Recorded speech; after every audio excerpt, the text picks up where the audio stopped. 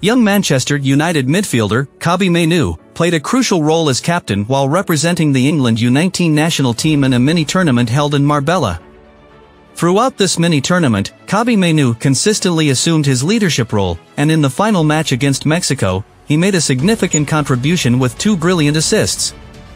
In the last three games, England managed to score an impressive 16 goals while conceding only three, showcasing outstanding statistics. The decisive victory in the final match against Mexico, where they scored seven goals, enabled Kobbie Mainoo and his teammates to emerge victorious in this mini-tournament. Kobbie Mainoo showcased a dominant performance in the midfield, exhibiting quick movement, driving runs, well-sprayed passes, and composure in the opposition's box. These are the abilities that United has been desperately seeking under Erik ten Hag.